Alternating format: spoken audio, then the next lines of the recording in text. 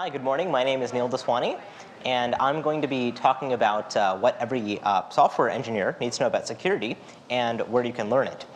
Um, this talk will be made available on Google Video uh, on our public website, so please do not ask me any Google-specific uh, questions. I'd be happy to take those uh, after the talk. Let's see. So I guess um, I'm just going to get things underway. Um, thank you so much for turning, uh, turning up bright and early at uh, 10 a.m. Um, one, one question that I sometimes ask myself when I look at press releases um, from time to time is uh, whether or not the sky is falling.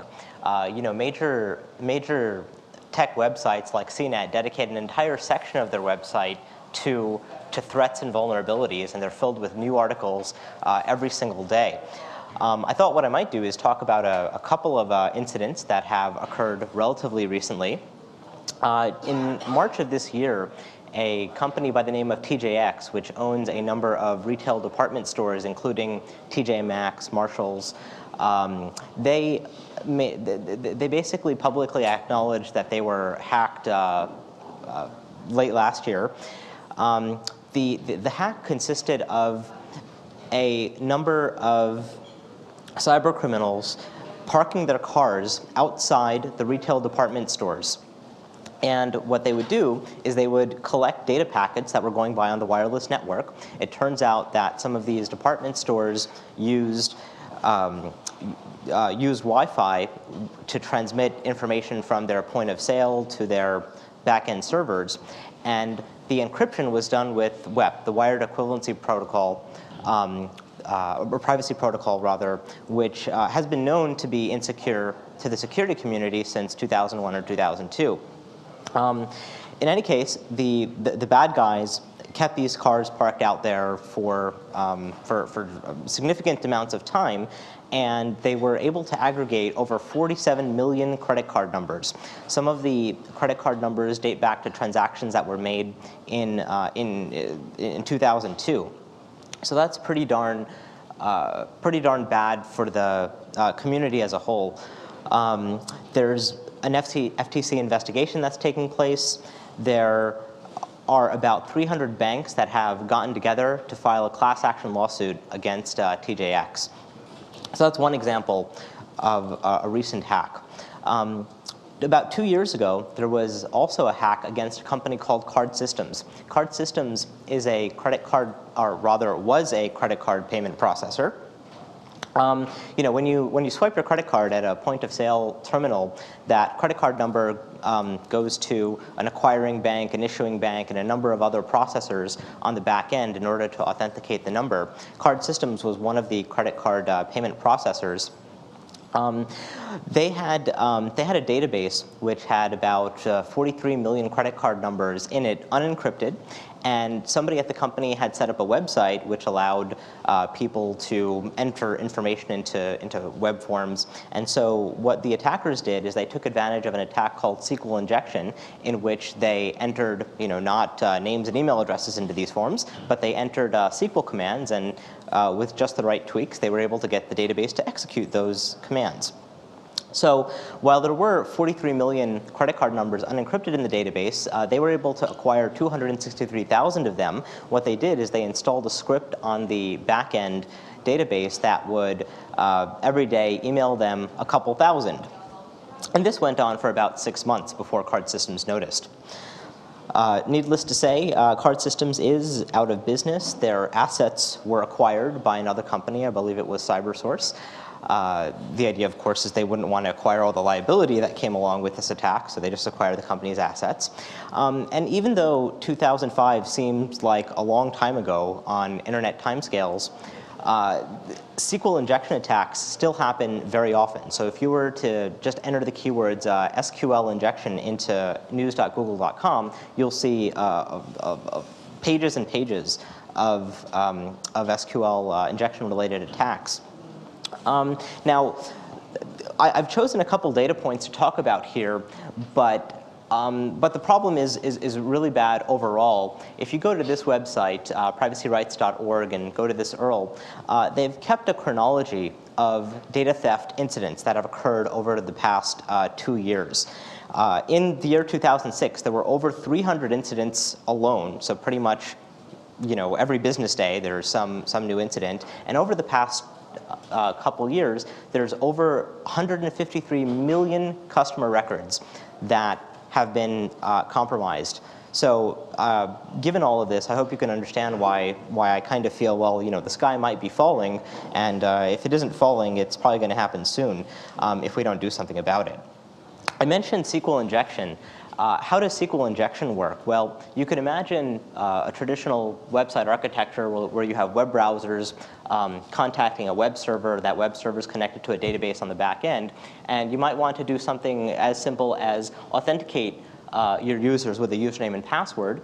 Uh, to do so, when the web server receives a username and password from a user, it issues a SQL query to a database saying, please give me the password that corresponds to the username that the user entered, and then it can check whether or not the user indeed entered the, the correct password or not.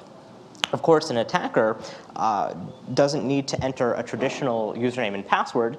Uh, an attacker might enter the username quote, semicolon, drop table users, semicolon, hyphen, hyphen, um, and enter something for the password. Of course, when that username gets uh, substituted into the variable that would be reserved for the username, uh, it would expand out to the following. The quote would uh, terminate the username, the semicolon would terminate the first part of the SQL statement that uh, hopefully would not return any results, uh, but then the rest of the username would make up the remainder of an SQL statement, which could end up uh, killing the user table in the database and resulting in a denial of service attack against the users of this service. Uh, the hyphen hyphen is there to just comment out the apostrophe, the final apostrophe that's put in by the application so that the database doesn't say, hey, this is an error, I won't execute it at all. Uh, so this is an example of a, of a SQL injection attack. Um, you might ask, well, uh, is SQL injection getting better? Is it getting worse? Let's see. So I, I pulled some data off of the uh, Security Focus uh, vulnerability database, and I've graphed the um, number of vulnerabilities that have occurred in the first half of the year for 2004, 2005, 2006, and 2007.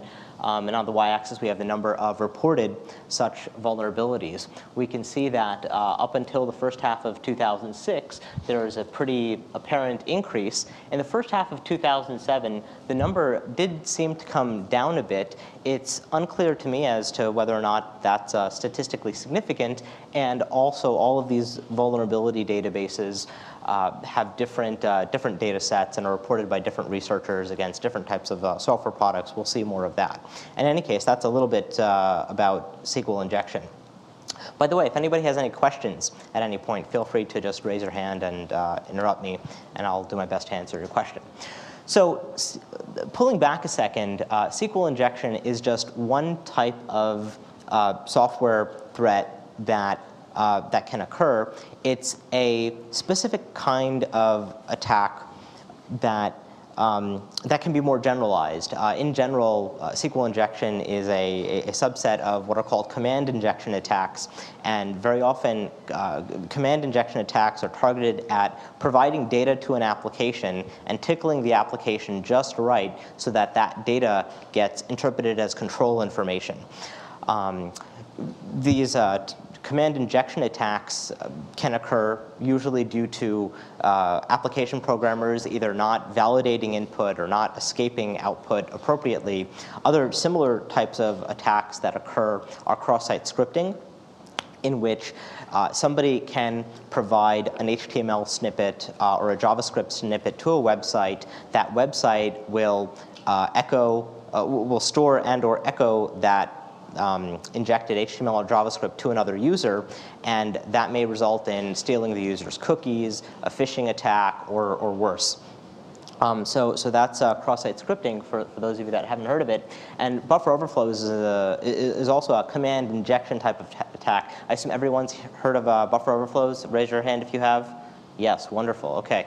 Um, so, so in a buffer overflow attack, it is a command injection attack. Um, in, in, some buffer overflow attacks, the attacker uh, sends shellcode into, into a server, modifies the uh, modifies the return address so that it, the adapter's shellcode gets executed, um, and basically, uh, you know, injects a command which gives them a command shell.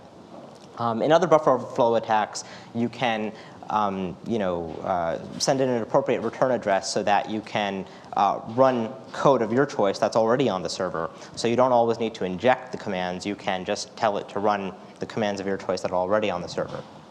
So, uh, so, so, that's a little bit about some common command injection attacks uh, that can be uh, that can result due to bad input validation.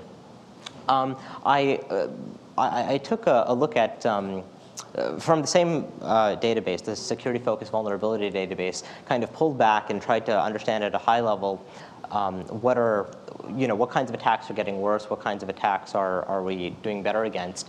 Um, before I start talking about this information, I just want to um, uh, put out a, a uh, disclaimer. Um, the the, the, categorization here might not be perfect, um, and in some cases, a vulnerability might fit under one of these categories, and in other cases, might fit under another. But uh, at a high level, uh, if we look at uh, all input validation bugs um, in the first half of 2006 versus 2007, we can see that they're about the same. Uh, on the other hand, the number of security vulnerabilities due to design errors is going up. Uh, there's many type of design errors that you can make when building an application. Uh, a common one might be uh, there might be some way to get around your code so that you, the, the user doesn't have to authenticate. Uh, and that would be an example of a, of, a, of a design problem. Another example of a design problem is if you just look at the design of TCP, uh, in the original design, uh, it was possible to uh, send in TCP SYN packets, the server would, of course, allocate uh, descriptors for uh, potential client connections with each of them and end up maxing the server out of those uh, descriptors, resulting in a denial of service attack. So that's an example of a DOS attack that resulted from a protocol design error. Um, those seem to be up uh, in the first half of this year attacks due to boundary condition problems. Uh, buffer overflows can uh, be, fit in that category. And actually, in this, in this um, set of data, buffer overflows were categorized under boundary conditions as opposed to input validation, um, basically because when a buffer overflow attack occurs, it's usually because the programmer forgot to check the size of the input or forgot to check exactly how the data in the string is being indexed. And you can index on, on either direction to try to uh, to try to tickle the server into doing funny things. Uh, attacks due to boundary conditions are up. Um, attacks due to uh, exception, bad exception handling uh, are also up. An example of an attack due to uh, bad exception handling, um, I was auditing a application uh, a couple of years ago prior to coming to Google, and it was a web application. Um, it had this um, interesting bug where well, what the server would do is it would send you back a cookie once you authenticated. And if you simply didn't send uh, back the cookie to the server, what would happen is the application, uh, for some reason, needed to sign some session ID to, uh, to, to, continue processing. So what it would do is if you didn't provide it with a session ID, it would decide to go ahead and use the session ID of the last user that logged in. So all I had to do is kind of sit around and wait till the administrator logged in and uh, then send a request which didn't have a cookie and I would get the administrator's cookie, which would give me all the administrator's privileges. Um, so, so such attacks uh, fall into the category of uh, bad exception handling. Um, and we can see those are also up in the, in the first half of 2007. Um, access validation issues, it's, it's, it's hard to tell uh, whether or not there's actually been a real increase. So, so that's uh, kind of high level where we are in the first half of this year based on the stats from the security focused vulnerability database. Um, so I, I, took those categories and I kind of drilled down and looked at the, uh, the, the, the top specific vulnerabilities as opposed to the categories and came up with the following chart. Um, on the x-axis, I have the uh, different vulnerabilities, SQL injection, cross-site scripting, denial of service, and, and, buffer overflows. And on the y-axis, I have the number of reports made to the database. Uh, for those. For those, um, the orange bar is the number of vulnerabilities in the first half of 2006. The purple bar is the number of vulnerabilities in the first half of 2007, and we can see the uh, the, the, the, slight decrease in SQL injection, which uh, we're not quite sure is statistically significant.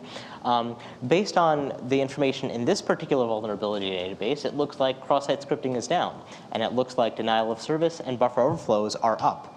Um, so, so that's uh, what we learned from, from this particular vulnerability database. Um, but what we'll see is that not all vulnerability databases necessarily agree. So I pulled out some statistics from the MITRE uh, vulnerability database. Um, and, and started initially, uh, just looked at a report. There was a very nice report online. I'll provide the link, uh, um, I'll provide you a pointer to the link uh, by the end of the talk. Um, but they did some very nice work where they looked at uh, the number of security vulnerabilities in products put out by OS vendors. And what we see from, uh, from this graph between 2001 and 2006 is that the number of buffer overflows being reported is still increasing significantly. So even though uh, buffer overflows have been known to the security community for the past 25 or 30 years, uh, the number of such vulnerabilities that we're detecting is still increasing. And then there's a number of other vulnerabilities that we see. Uh, if, we, if we look at MITRE's data for uh, across all software products as opposed to just those put out by software vendors. Um, they report that uh, up until um, 2006, uh, cross-site scripting is increasing, um, PHP include attacks are increasing, uh, SQL injection attacks, uh, as marked by the, the upside down triangles, is also increasing. And uh, then there's other attacks due to buffer overflows and, and denial of service that are also increasing, um, although uh, exactly, I mean, looking at the data overall, it, it seems to disagree with um, just the types of vulnerabilities that OS vendors are having to deal with. So given all of this data, what, what are the real takeaways? Well, um, you know, I think it really depends upon what kind of software you're looking at. Depending upon what kind of software you're looking at, what the threats are, um, you're going to see different kinds of vulnerabilities be, be more prevalent. But overall, um, the number of detected vulnerabilities is increasing. And I don't know if this is just because we're spending more time looking for vulnerabilities um, or whether people are actually writing more bugs into the code. Um, while there are some uh, discrepancies with regards to um, which exact types of vulnerabilities are being detected the most, uh, the big four seem to be the same, regardless of which vulnerability database you look at. Cross-site scripting, uh, SQL, uh, cross-site scripting, command injection, memory conduct, uh, corruption, and denial of service seem to top the list. And by the way, when I, when I, when I lay out these broad categories, I've grouped kind of uh, sub-attacks into, into, into the categories. So uh, cross-site scripting, cross-site request forgery, cross-site script inclusion, they all fit into cross-site scripting. Um, SQL injection, PHP includes, I group them under uh, injection. If, if you look at the data in this way, then what you'll see is that um, you know, these, these four end up uh, being pretty prevalent regardless of which vulnerability database you look at. So given that these are the vulnerabilities that we're seeing, let's ask the question, what does every engineer need to know about uh, security? Well, you might categorize it as follows. I'd, I'd say that uh, every engineer, every software engineer should know about secure design. So in the same way that we learn about object-oriented uh, techniques to help us uh, achieve reusability and extensibility, um, it's important for all of us to understand secure design principles, like the principle of least privilege, fail-safe stance, how to secure the weakest link, uh, et cetera, so that regardless of what vulnerabilities we're seeing on a particular day or in a particular year, uh, when we're designing new software, uh, we'll be able to figure out what the appropriate threats and appropriate defenses uh, need to be, um, regardless of what's happening at any given point in time. So secure design, I think, is an important piece of what every engineer does need to know about uh, security.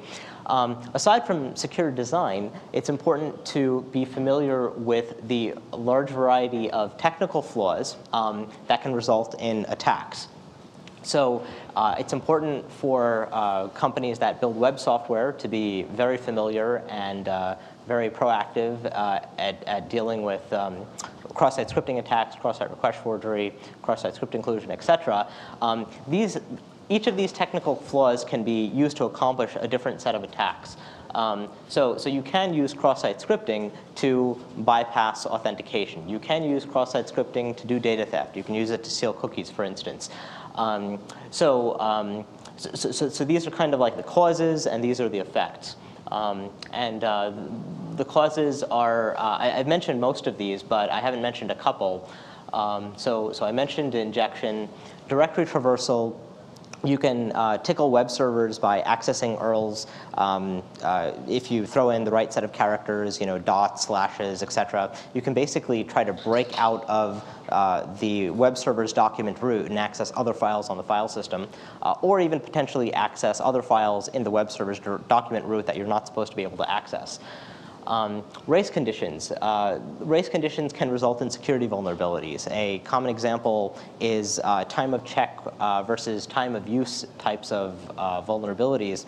Um, the way these types of attacks occur is at some point the software uh, checks whether or not you're authorized to access a particular resource, say, say a file. Um, that file uh, could be a symbolic link to something, and if, you, um, if there's too much time that expires between the time that the authorization is checked and the time that the resource is used, uh, what could happen is the resource can change underneath. So the attacker could uh, get the symbolic link to point to something else. Uh, th that's an example where, uh, where, where, a race condition can, can result in a problem.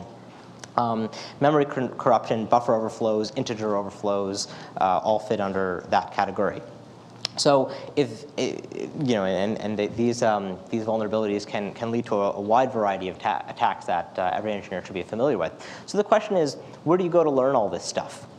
Well, um, initially you might think, oh, you could just um, go to uh, the universities, and when you come out of school, you might, you might uh, be educated about such things. So to, to see whether or not that's the case, I, topped, I, I typed a couple keywords into Google. I said top CS programs, and um, the following webpage at uh, US News and World Report came up. Now, um, there's a lot of uh, good computer science uh, programs out there, and um, I, I, wouldn't just necessarily take US uh, News' word for it, um, but uh, I thought it might be good to, to just look at uh, the curriculum in a couple of these universities. So um, I'm not uh, picking on uh, any university in particular. In fact, um, uh, what I'll illustrate is that uh, some of the, the, the, issues here are applicable to pretty much all universities that teach computer science. So I looked at um, CMU's um, uh, web page in their curriculum. My hope is that they just forgot to update their web page, but what I found is that uh, in order to get a bachelor's degree in computer science, you have to take uh, this set of courses. Um, so uh, you have to take uh, some uh, programming courses, you have to become proficient in C and Unix, you have to know data structures and algorithms, um, and, and, those are the, the set of required courses. Um, so it doesn't seem that learning security is required um, to, to become uh, a good computer scientist. Um, let's see, at, uh, at this particular university, uh, one thing that was a little disappointing is that security was not even listed as an elective, um, as, as one of the electives after you take uh, this set of courses. So that's uh, things at CMU. Um, at MIT, um, uh, MIT is a great school. Um, Ron Rivest, uh, together with uh, Shamir and Adleman, developed the RSA encryption algorithm out of MIT. Um, so they, they produced a lot of uh, great technology. Um, they had the following objectives for their undergraduate program. Um, uh, objective two states that uh, students will develop a professional understanding of electrical engineering and computer science so that they are prepared for immediate employment. Um, and uh, so, so, so, to an extent, it's important to know about security when people graduate because they join companies, they end up writing code, that code gets released on the internet, uh, and um, uh, sometimes um, their, their code ends up being talked about in, in press releases um, when, when the code gets hacked. So, so I think it is important to, to focus on security if, in fact, uh, the goal is to prepare students for immediate employment. Another goal is students will develop an understanding of the importance of the social, business, technical, and human context in which a process or product being designed will work. Uh, as we know, security vulnerabilities uh, very often not only occur just due, due, to technical vulnerabilities, but due to problems in a software development uh, process. Um, you know, Bruce Schneier is often quoted um, with regards to uh, security being a process and not a product. Um, and uh, so, so, anyhow, this is the objectives that, uh, that MIT laid out. I looked at their uh, curriculum, and if you want to get a bachelor's degree in, in computer science uh, from MIT, you can specialize in one of the following three con concentrations. You can decide to specialize in AI, uh, computer systems and architecture, or theoretical computer science. Um, for each of these concentrations, there was a particular required header course uh, and then a bunch of electives, which is, which is kind of nice because students get uh, a lot of flexibility in uh, what they decide to take. Um, I looked for where security fit into this uh, curriculum. Um, and where it fit in is uh, it seemed that for the computer systems and architecture engineering specialization in the header course, in the last two weeks of the course, um, there were four papers that students were required to read about security, uh, which I thought was great. Um, they, they, they, learn about buffer overruns. Uh, they learn about why cryptosystems fail, great paper by Ross Anderson, uh, focusing on uh, some of the non-technical reasons that security fails. Uh, it focuses on uh, worm propagation uh, type issues, and it focuses on our, uh, our own Ken Thompson's reflections on trusting trust. Um, so, so, so, I was glad to see security being covered as part of the required curriculum at MIT. Um, but uh, I, I, think that um, one might ask the question, um, do we need to provide more preparation uh, than just these four papers um, in order to prepare students for immediate employment? Uh, let's see. Um, another kind of caveat that I just wanted to mention is, um, you know, I'm kind of looking at the undergraduate programs, but uh, these schools have quote unquote the top uh, graduate um, programs in computer science. Um, the reason uh, the reason I looked at these particular undergraduate programs was because I, I, wasn't able to find a listing of kind of the top undergraduate programs in computer science. Um, so this was kind of the next best thing. So anyhow, that's, um, uh, that's what we see at the, at the universities. Uh, what's my point here? I think the point is summarized very well by uh, Dr. Zvi Galil, um, who, um, who provided this uh, quote uh, on the inside of, of, of, a book that I recently published. Um, it says, it has been too long that security has not been part of the required coursework for bachelor degree computer science candidates, and we are seeing some of the effects software security vulnerabilities uh, plaguing electronic commerce, resulting in data, identity, and monetary theft, as evidenced regularly in the press.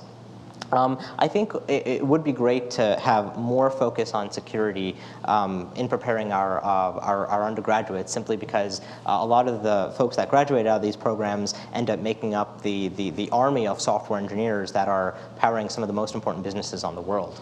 So um, so where else can we go to learn more about uh, security? I'll talk about some courses, some certification programs, some books, and some websites and organizations um, where one can go to learn more. Uh, I have to mention up front, of, call, uh, of course, that this list is by no means comprehensive.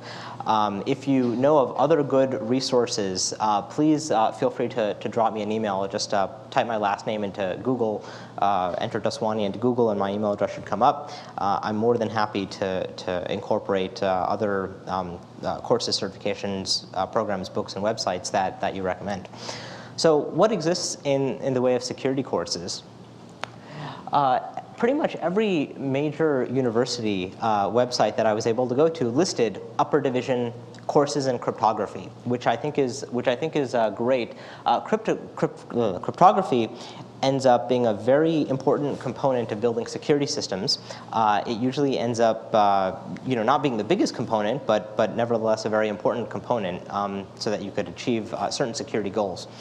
Um, there's also a number of security courses that are focused on system security. So for instance, uh, CS155 taught by Dan Boneh at Stanford is, a, is an example of that. Uh, UC Berkeley uh, has made CS161 available. These types of courses are, are great. Um, there is a more comprehensive list of these types of courses at, uh, at Avi Rubin's website. I encourage you to, to check it out. Um, uh, Google also um, offers uh, some courses in the area of security, and there's uh, more to come in that area. Please contact Mike Wiasek uh, if you're interested. So that's one place you can go to learn more about security. Um, uh, another option is various certification programs. So I'll talk about um, some certification programs um, that currently exist and um, try to talk a little bit about the pros and the cons. Um, because uh, security information is not covered as deeply as it could be in undergraduate curricula, uh, various certification programs have popped up. One is offered by Stanford. Um, these courses, uh, so, so, the certificate program is made up of a number of courses. It can be taken online or, or on campus. Um, if you take them on campus, it's kind of uh, you know one week, very intensive, focused towards uh, professionals. Um, they actually have an offering coming up um, from July 23rd to 27th. In the interest of full disclosure, uh, I help uh, provide some guest lectures for this uh, program. Um, it, uh, require, it requires you to take three core courses and then some electives. Um, and in addition to the, to the lectures in the core courses and electives, uh, some of the days are focused on hands-on labs where you uh, actually spend time attacking a test system that's been set up. So you actually do cross-site scripting, cross-site request forgery, SQL injection attacks so that you can get really, really get into the mind of the bad guy and then you spend some time uh, building the defenses. Um, if, uh, if uh, one week is kind of too much of a commitment, there is a a more foundational certificate also available. Um, if you're interested in, in, this or actually in any of the course offerings, talk to uh, Stephanie Chiang at NGDU. Uh, she'd be happy to, to help you get signed up. Uh, as an employee at Google, um, part of your benefits um, involves, um, you know, uh, involves covering courses uh, at, uh, at, at, I think all of these avenues that I'll, I'll describe. Um, so just talking a little bit more about the certificate uh, program at Stanford, um, it, it's very, very focused on software security. So the core courses involve how to use crypto correctly, how to write secure code, how to design security protocols correctly, and then there's a number of electives um, relevant to, to, uh, to, to, web companies. There's a, a, course on securing web applications. Um, they also offer a yearly emerging threats and defenses. So if you want to kind of keep up, um, you know, are phishing attacks getting worse? You know, what are the new threats that are coming up? The emerging threats and defenses can be repeated year to year. Um, so that's a little bit about the Stanford program. Um, there's a number of other certification programs. There's a certification program called the CISSP. Uh, it stands for Certified Information Security Professional. Uh, it's offered by an organization called ISC Squared. Um, so far as I can tell, ISC Squared exists solely for the purpose of um, offering this certification and creating an ecosystem uh, and uh, networking opportunities around the certification. Um, to get a CISSP, um, well, actually, so before I mention getting one, uh, the CISSP seems to do a good job in preparing people for administrative security jobs and jobs in uh, the government that are related to security. Um, it consists of passing a uh, long multiple choice test um, and it's, uh, as, as, compared to the Stanford program, it's much more broad. So whereas the Stanford program, say, focused on software security, uh, the CISSP uh, covers a, a, wide variety of domains, um, not only involving application security, but involving telecom and network security, involving physical security, involving um, you know, legal uh, issues, um, regulations, et cetera. So it's, it's, a, it's a much uh, broader program. A third uh, security certification program that is um, in the process of actually just being created right now is called the GSSP. The GSSP stands for um, GIAC Secure Software Programmer. Uh, GIAC itself expands out to Global Information Assurance Certification. Uh, this uh, GSSP certification is uh, fairly new on the block, um, uh, it's offered by SANS. So SANS has been around for a while. SANS is a very well-known security training institute. Uh, they've done a lot of uh, good work in network security, forensics, uh, incident response, et cetera. Um, the certification, while the certification is new, it's offered by an organization that's been around for a while. Um, and the goal of this particular certification is to provide a secure programming assessment. So to, it, it, it is a multiple choice test, and it asks you a whole bunch of questions about finding vulnerabilities in particular code samples or whatnot. Um, the first offering of this will be in August uh, 2007. So that's uh, a little bit about some security certification programs. Um, there's a number of books that I think are, uh, are useful in helping um, engineers learn more about security. One that I highly, highly recommend is Ross Anderson's Security Engineering. Um, one of the great things about this book is that it is available for free at this URL, and it covers, um, uh, you know, not software security specifically, but it looks at security as an engineering discipline and uh, talks about, um, in addition talking about technologies for uh, authentication, access control, et cetera, what it, uh, what it does is it covers lots of different uh, domains. So it talks about security in the banking industry, it talks about security in nuclear command and control systems, and it pulls out lots of interesting examples and case studies. So for instance, in the, um, in the, in the case of a defense, um, Ross provides this, uh, th this really fun example in which uh, there were two countries that were at war with each other. Um, uh, one of they, they both had uh, MiG planes, um, the, you know, jets, fighters, and um, you know, uh, one of the countries wanted to uh, you know, you know, wanted to attack the other, but couldn't get past their uh, IFF systems, their identify friends or foe systems. So what they did, uh, what this country did, is they provoked the other country to attack them. Uh, they sent a couple of their fighter jets. Their fighter jets were broadcasting IFF friend or foe signals. Um, what they did is they took those signals and they just um, they instrumented their own fighter jets to echo those signals. So their own fighter jets were able to pass right through the other country's defenses at the exact same time that they were being attacked.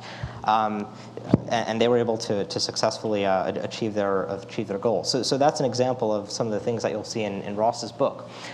Uh, another uh, very good security book is um, uh, Gary McGraw's and uh, John Viega's Building Secure Software. Um, some people uh, refer to this as the classic text in the area of software security. It, um, it talks about uh, software-related vulnerabilities like buffer overflows. It talks about um, some of the challenges in achieving security, both in open source software and closed source software uh, uh environments. Um, it, uh, it, it, was really one of the first um, efforts and initiatives to write down any and all information related to, to, software security at the time. This was about 2001. And uh, a lot of the information in the book is still very, very relevant, so I, I recommend it.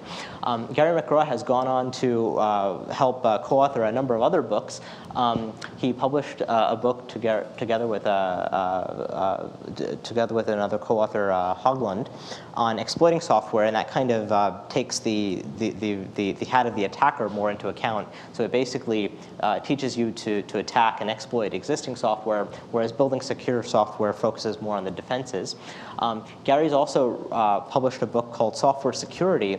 That book focuses on risk management. It focuses on architecture for security. Uh, it focuses on how to incorporate things like static analysis tools in your software development process.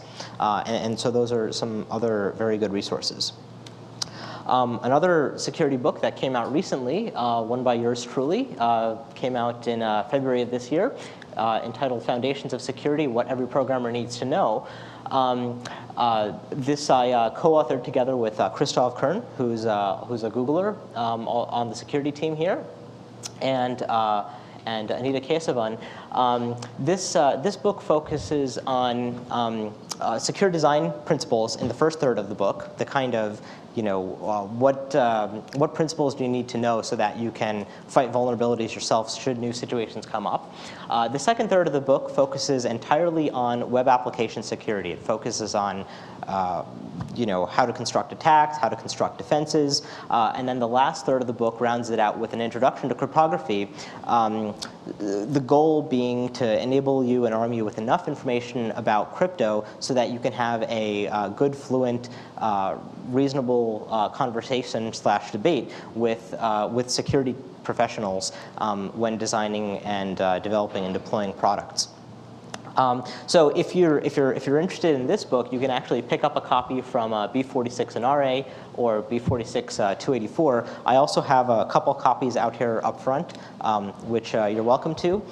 Um, let's see, if you are interested in getting involved in helping to teach security courses um, to, uh, to your team or to other organizations that you work with, um, there's a set of free slides that are available at learnsecurity.com. All the free, free slides basically correspond uh, to the book chapters, chapter by chapter, um, so that we can help get information out as soon as possible um, without uh, everyone having to spend a lot of time on, on course development. Um, of course, people are feel uh, welcome to tweak the materials as per their needs.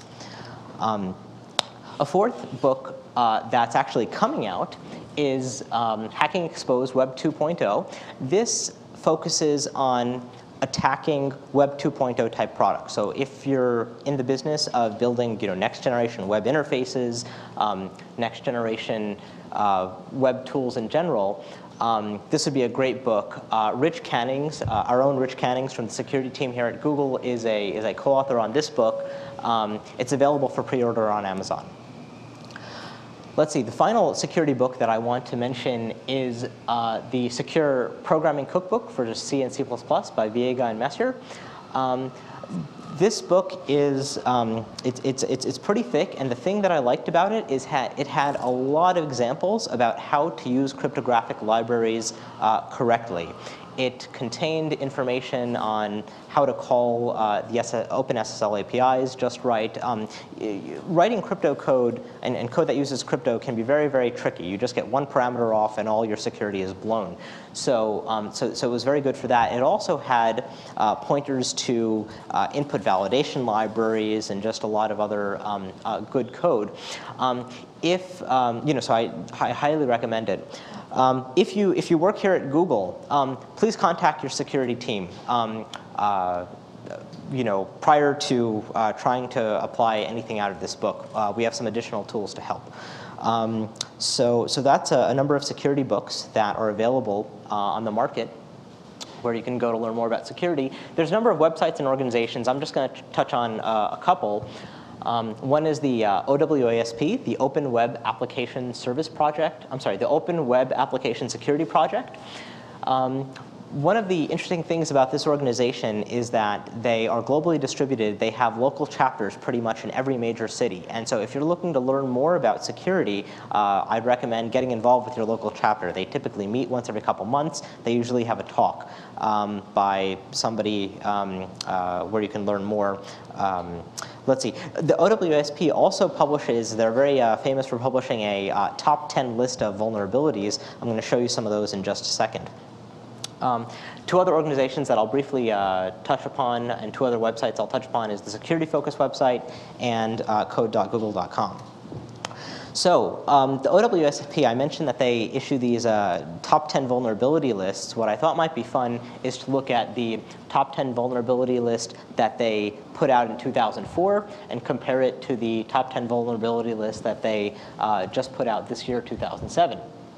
Um, in, from the list in 2004, uh, they said, you know, number one vulnerability, unvalidated input, uh, followed by broken access control, et cetera. Uh, what we'll see is that um, uh, over, over, over the course of three years, some of these vulnerabilities have disappeared for various reasons.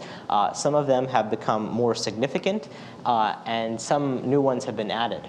So if we look at unvalidated input, unvalidated input is kind of very broad in general, right? Um, Cross-site scripting can happen due to unvalidated input. Buffer overflows can happen due to unvalidated input. Injection flaws can occur due to invalidated input. And so I have to admit, I, I was, uh, I was a little bit confused when I was looking at this, and I didn't completely understand exactly how the categorization worked.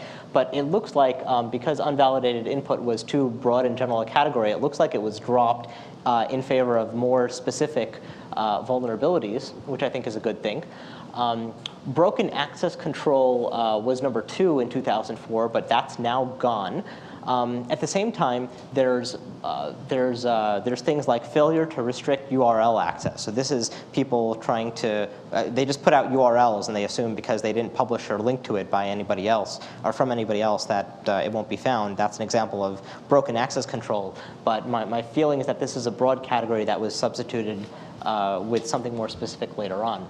Um, let's see. Um, uh, buffer overflow surprisingly are gone from their list, uh, moving over to 2007, which is a little bit surprising again. I think this is uh, dependent upon what kind of software you're developing. Um, Uh, I, am not quite sure who their uh, target audience is, but if you're working on an operating system or you're working on system software, I think buffer overflows are still a big issue. It was the number of buffer overflows detected was still rising. Um, let's see, um, what else? Um, uh, okay, so uh, application denial of service, again, broad category replaced with something more specific. Uh, insecure configuration management is gone from their list. Um, my feeling is that they may have decided to focus more on uh, software security vulnerabilities. There's still lots of uh, security vulnerabilities that can arise due to uh, you know, having the wrong configuration parameter set. And so again, um, just because they eliminated this from their list, I wouldn't, I wouldn't throw it away. I just don't think it's a, it's a, you know, it's a, the kind of thing where you have to change code to fix it. Um, having correct configuration is still very important. Um, so let's see, what are some of the new things that popped up on the list? Um, malicious file execution, um, uh, cross-site request forgery is a, is a new big one. This is uh, what can occur when, um, say, somebody already has a browser open and is authenticated into some service, and then they get lured to an evil site. That evil site can include a URL um, you know, to the other site, like transfer funds, and because the user is already logged in, um, what will happen is uh, the, the web browser will issue the request and automatically send the user's cookie to that site. So cross-site, uh, you know, and actually do the funds transfer, even though um, the user didn't necessarily uh, explicitly authorize it. So I, I look out for cross-site request forgery, um, uh, very significant. Anyhow, so this is the kind of top 10 list that OWASP puts out there. Uh, my hope is that over time, um, you know, these lists will be constructed more and more scientifically based on data and vulnerability databases that we're seeing. Uh, I mentioned the Security Focus uh, website. It's the, uh, the home of the original Bugtraq mailing list. Um, they have uh, a wide variety of articles, vulnerability reports. They have a number of focus areas, um, uh, you know, operating systems, intrusion detection, incident response, viruses and malware, pen testing, and firewalls. I encourage you to, to check it out. Uh, it's the kind of thing where you can, you can bookmark the site and read articles, um, read about the new security threats of the day. Finally, the last website that I wanted to mention is uh, code.google.com. Uh, code.google.com pushed out a subsection of the site, slash edu, that focuses on providing information to educators, whether they be at universities, whether they be at companies, free materials that are available for use. Uh, just last week, we pushed out a uh, sample course on web security um, uh, authored by uh, yours truly with the help of Maggie Johnson. Uh, thanks to her for helping make this uh, reality. Um, it uh, provides a set of uh, lectures, PowerPoints that people can just use out of the box, as well as programming assignments to give people real experience. I think with security, um, you, can, you can learn about all this theory, you can read about vulnerabilities, but until you actually attack some code yourself, until you actually defend your code against some attacks, um, you know, it, for me, it didn't really sink in until I went through that process. So, so this is available. Um, the, the example that's posted, for instance, uh, provides uh, kids uh, and students of all kinds with a 100-line web server uh, that, um, that they can do a DOS attack against and then fix it. Um, we are looking for additional contributors for, uh, for this website. So if you're interested, please come talk to me afterwards. Let's see, uh, to summarize, um, I, I, encourage everyone to, to learn more about security to an extent. If we, if we do our job right, then every engineer will become a software security practitioner. I think we'll always need some security engineering specialists, if you will, but my hope is that we can make most uh, security engineers obsolete and uh, have everyone worry about security as part of their jobs. Um, all of the different uh, URLs and resources that I mentioned uh, is available at learnsecurity.com. Just click on the resources tab on the site and it'll bring up a list of all the URLs uh, I mentioned. Uh, and of course, if you have uh, any questions or you'd like to get uh, more involved in security education efforts, please feel free to drop me a note, either at my email address or at my website. Um, I'd be happy to take any questions.